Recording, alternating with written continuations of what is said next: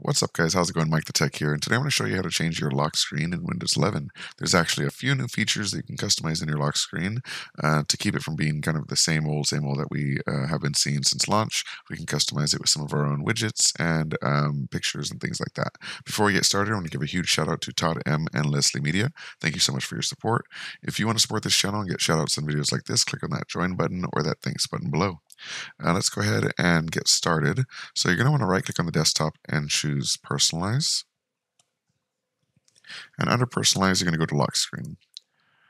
Now there's quite a few things we can adjust on the lock screen. For example, if we click on the calendar, we can switch this to quite a few different um, choices here. So we can choose Forza Hub, and it'll give us information from our game of Forza, obviously, um, or even a 3D viewer, and um, have it show models from uh, the 3D app.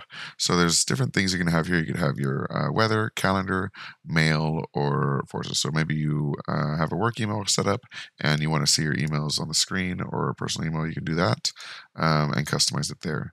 You can also change your lock screen from Windows Spotlight to a picture or a slideshow of your own just by going here and choosing picture. And then you can choose one or you can um, pick one from your computer by clicking Browse Photos. You can also turn off the tips and tricks that show up on the screen randomly um, by unchecking this box here, and they'll go away. I happen to like the Windows Spotlight, so I'll leave that there. And then um, you can choose what to show um, on the sign-in screen. So when you click sign in, whether the picture goes away or if it stays there. Um, you can also choose timeout and screensaver settings from here, but that's not directly related to this the lock screen.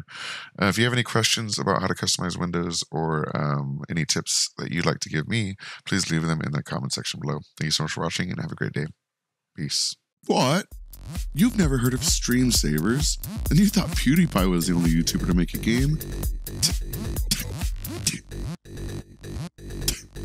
I made a game too, and it's called Stream Savers, and it's available for pre-order right now for $9.99. And that's a great price.